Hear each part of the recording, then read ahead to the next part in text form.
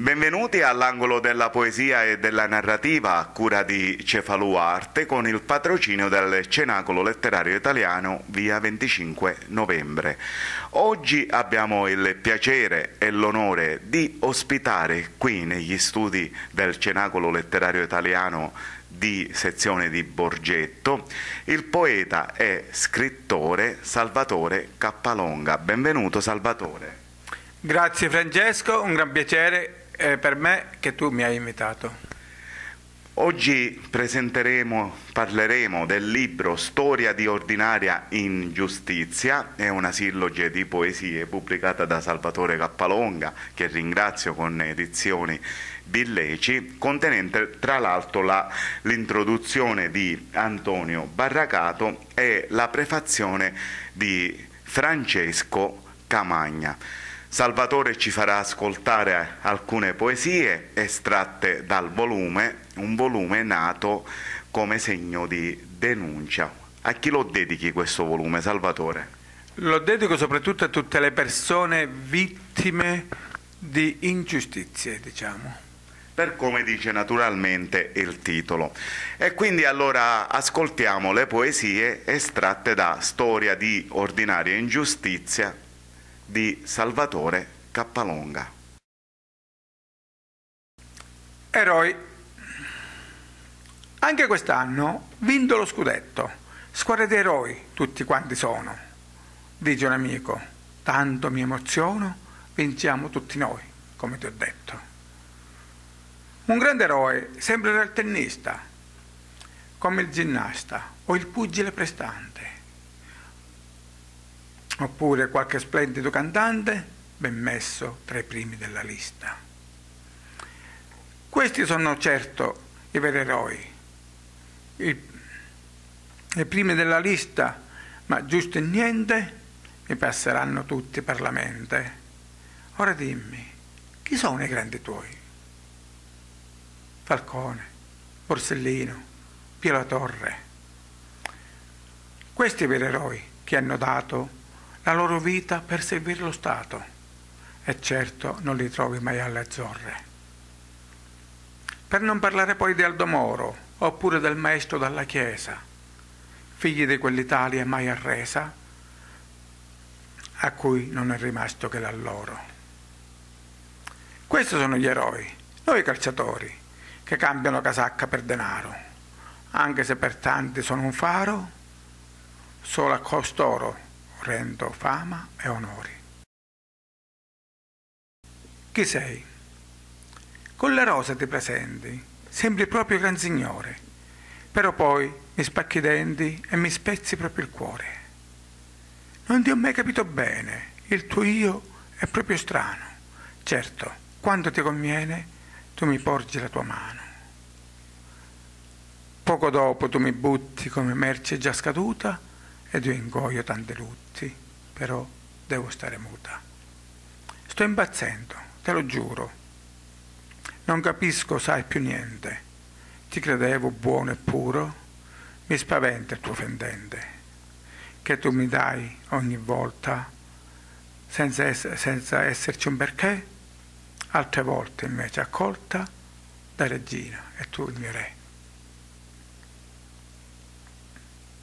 Non mi piace il tuo ideale, non so proprio più chi sei. So che spesso mi fa male, non sei quello che vorrei. George Floyd, ti prendo e poi ti strozzo, non lagnarti. Non sei di certo negro pur borghese. Onora la divisa e non rialzarti. Non vuoi tu certo aver tante pretese. La legge mi consente di schiacciarti sono io che rappresento sto paese. Non dire poi che male voglio farti. Le gambe sotto collo io ben tese. Ti prego, perché mi vuoi ammazzare? Non ho fatto nulla, te lo giuro. Togli la gamba, fammi respirare. Se tu sei un uomo giusto e puro, ti chiedo solo di lasciarmi andare. Ti prego, sto morendo, ti scongiuro. Perché mi vuoi strozzare? Lo so che ti fa forza la divisa, ma tu la mia persona l'hai uccisa. Vanessa.